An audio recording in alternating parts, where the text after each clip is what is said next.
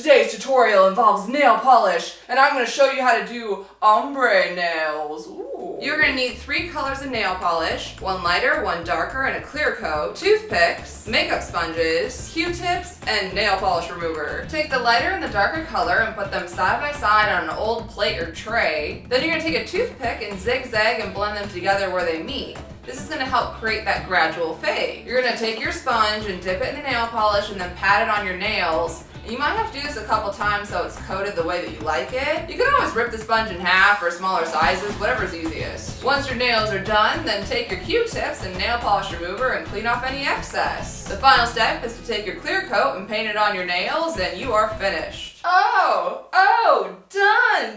Oh, I love, love ombre nails. What did you guys think? Did you like this video? And if you do, try it, tweet me pics, or um, Louise Taylor pics is my Instagram name if you want to like hashtag it so I can check it out.